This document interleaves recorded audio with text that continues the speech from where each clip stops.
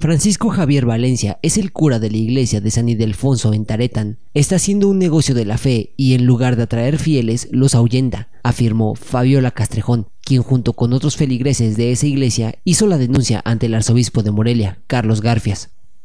Un grupo de creyentes vino a Morelia para entregarle un escrito al arzobispo, luego de la rueda de prensa dominical, apelando a su jerarquía, porque el obispo de Zamora, Javier Navarro, los ha ignorado pese a estar enterado de que el padre Valencia maltrata a la feligresia porque el propio sacerdote pregona que le da sus buenas limosnas para que no haga nada.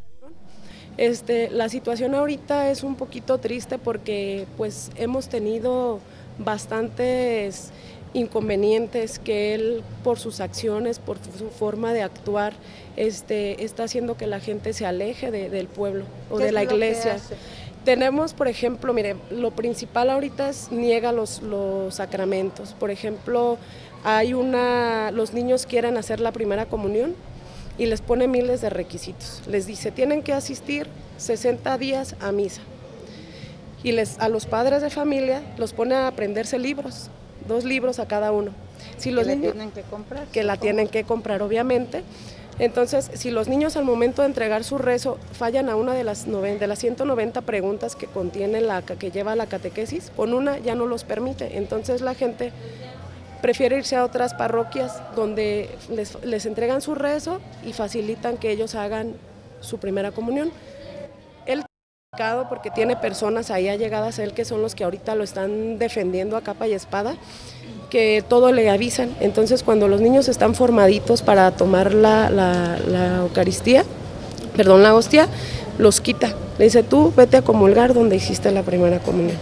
Aludió también a la insensibilidad del sacerdote porque las misas de cuerpo presente las programa a la hora que él quiere y no a la que solicitan los dolientes, a las 7 de la mañana y si insisten en otra hora les pregunta que si le sacaron las tripas para hacer la misa más tarde. Eh, por ejemplo, las misas de cuerpo presente las programa a su gusto y gana a la hora que él quiere, no a la que solicita el doliente, haciendo sus preguntas o programándolas a las 7 de la mañana y les comenta, ya le sacaron las tripitas para que la quieras más tarde sin, sin pensar en el dolor y la pena que tienen las, las personas en ese momento. Les quitó las tradiciones como la del Via Crucis viviente o las apariciones del 12 de diciembre, pero lo más grave es que ha desaparecido los grupos parroquiales y solo permanecen los que él autoriza, siempre y cuando le paguen 50 pesos semanales cada uno de los integrantes de los grupos parroquiales. Con imágenes de Alejandro Hernández e información de Rebeca Hernández Marín, Agencia Cuadratín. Grupo de Oro presentó